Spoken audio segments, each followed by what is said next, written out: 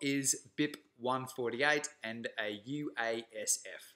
We're going to break this all down and you're going to understand exactly what it is, what it means, and uh, how it's going to affect you and your Bitcoin. So let's get started. So BIP 148, BIP actually stands for Bitcoin Improvement Proposal. So Bitcoin is an open source software. Anyone can actually contribute, and it's up to the community to basically accept or reject uh, all the proposals that are put forward to, hey, what we're going to do, what, what are we going to put in this code? So uh, that's literally all the BIP is. It's just a, a, an improvement proposal. Not all of them get accepted. Uh, and number 148 just means this is the 148th proposal put forward to be included in the code.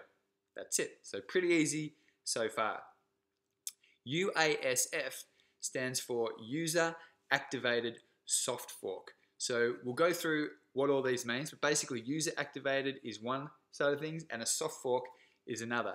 Um, let's have a look at what is a soft fork, but to start, let's have a look at what actually a fork is, uh, just to bring it down. Those who have been around in Bitcoin for a while uh, will be pretty familiar with this, but really all a fork is is just like a fork in the road.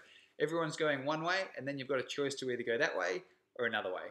Uh, probably the best example in Bitcoin history to date is how Litecoin was created, which is literally just a fork of Bitcoin. The only difference between Litecoin and Bitcoin is uh, Litecoin is Bitcoin with more coins, and instead of a 10 minute block time, it's two and a half minute block time.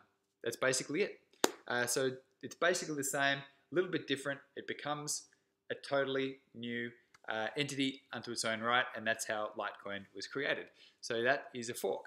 Now, how a chain can fork, it can either, it's, uh, there are four ways. It can either be it's either user activated or miner activated and soft fork or hard fork. So you can either have a user activated soft fork, a user activated hard fork, a miner activated soft fork, or a miner activated hard fork. That's it. Let's understand exactly what these things are. So let's have a look at soft and hard forks. Uh, and basically what that has to do with is whether it's forward and or backwards compatible. So just to give you an example, a soft fork means that the old version still works with the new version, but you might be able to do some extra things with it. So a good example is Facebook a couple of years ago, you, you, when you had Messenger, all of a sudden you had an icon where you could actually call. Okay, it, it added a feature. Um, if you added that feature, it doesn't mean that you couldn't message people previously, and the people who didn't upgrade, uh, they couldn't call you because they hadn't upgraded, but they could always still message you. Okay, so it was nothing lost in the messaging service. It was just a little thing added on. Um, if we follow on from that, so basically a soft fork is the older version works with the new version, just with and but the new version can do some other things. A hard fork basically means the old version will not work anymore.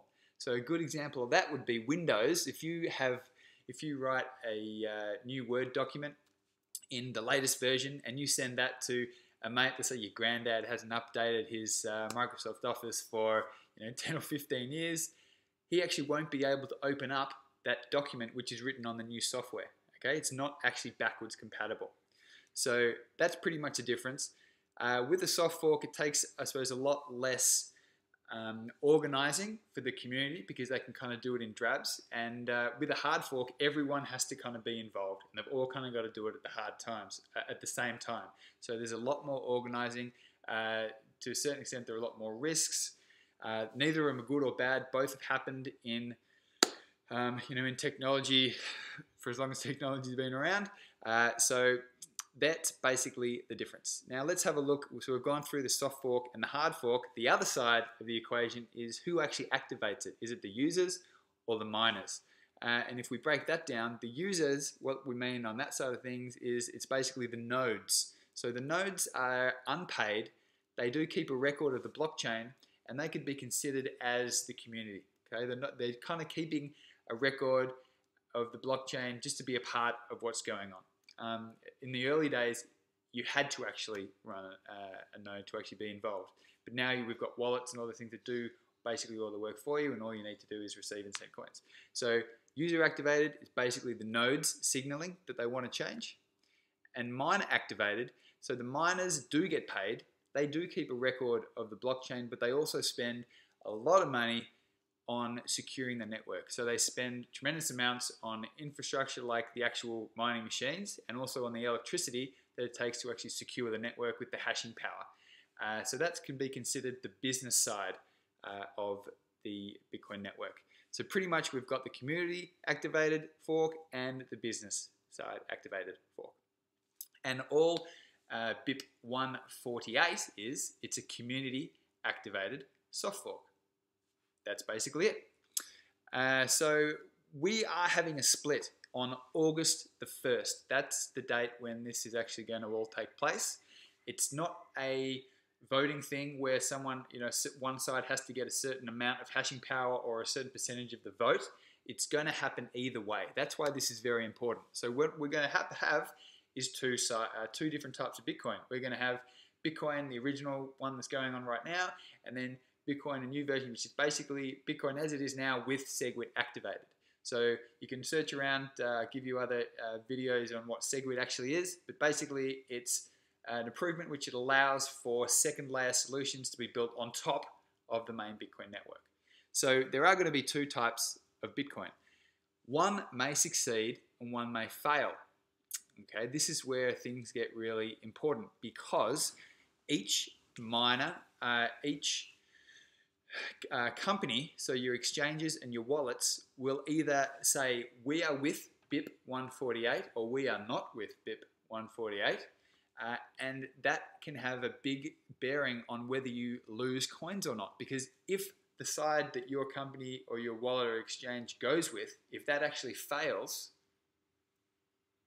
you could end up losing your coins. So you need to remain uh, maintain control of your bitcoins. So it could go either way. Okay, one might fall over, one might succeed.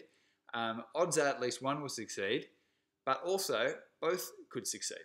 Okay, but the safest option is to actually control your private keys. And what that allows you to do, it means you're not at the whim of each company saying, oh, we're with these guys and we're with these guys. So that's taking a risk on which side is going to happen. If you can actually control your private keys, you can sit back and whichever side of the chain comes out ahead works, you can then actually just go over to that side of the chain. Okay. So you can actually choose and if they both work, great, you can actually decide which side you want to go on if you you want to buy a product from someone who only accepts this type of Bitcoin. Okay, so it gives you the choice, gives you the power. And to do that, you do need to control your private keys. Can't say that enough. But how do you actually do that? Okay, so I have made another video on exactly how I create my own private keys, uh, which I'll leave in the description below that link, and I'll also leave it uh, up in the, at the end of the video there. It's 100% worthwhile learning how to do that. Uh, really does protect you. And feel free to like, subscribe, do those things. We we'll look forward to seeing you in the next video. Cheers.